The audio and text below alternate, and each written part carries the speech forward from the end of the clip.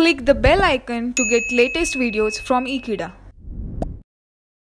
Hello friends, in the previous topic we have discussed about the open chain structure of glucose and now in this topic I am going to talk about the open chain structure of fructose.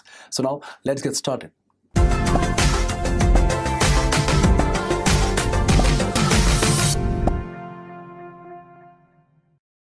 So friends, here we are going to talk about that is how to draw the open chain structure of fructose.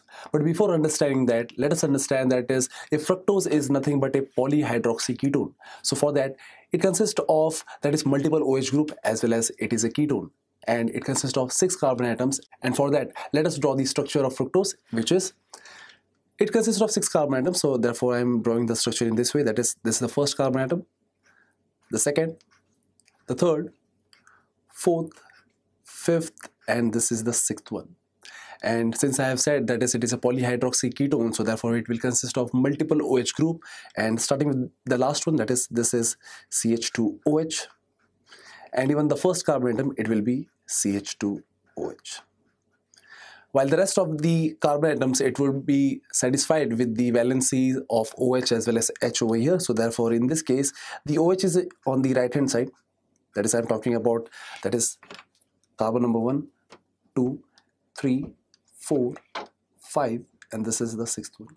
So in this case basically the fifth carbon atom consists of the OH group which is on the right hand side while on the fourth carbon atom even again that is the OH group should be on the right hand side while the H should be on the left hand side.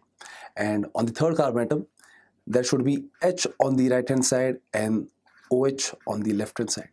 And since it is a ketone so we have to mention a carbonyl group that is C double bond O. So therefore this is nothing but the open chain structure of fructose. Fructose and glucose they both have the same molecular formula but obviously we understand that is they both have different structural formula and also that is different functional group. Talking about glucose it is a polyhydroxy aldehyde while fructose is a polyhydroxy So this is the structural formula of the fructose that is what I have mentioned over here. But now let us understand that how we can draw the Fischer projection formula for the fructose. So now let us talk about that structure also. So by taking the reference of this structure, we can easily draw the Fischer projection formula for the fructose. So in this case, basically we can see that is there is CH2OH which is present that is it is the first carbon atom the next carbon atom is C double bond O.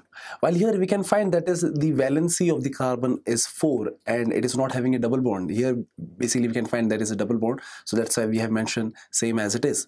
But here we can represent it in this manner where the last carbon atom it is nothing but CH2OH. But between carbon number 2 and carbon number 6, we can see there are three carbon atoms. So in that case, basically for drawing the Fischer projection formula, we could draw the structure in this manner where we can find three carbon atoms and these intersections are nothing but the carbon atoms. And talking about the hydrogen atom over here, on that is on the third carbon atom, here it is present on the right hand side. So similarly, here it will be present on the right hand side. Here there will be OH here there will be hydroxyl group that is OH group and here there will be H similarly here there will be OH group on the fifth carbon atom on the right hand side and H on the left hand side so this is nothing but the Fischer projection formula for the fructose so this is what I wanted to talk about that is how we can draw the open chain structure of fructose and that's it so thank you friends for watching this video. I hope you have understood this topic very clearly and I hope I'll see you next time. Till then, don't forget to subscribe Ekeeda channel. Thank you so much.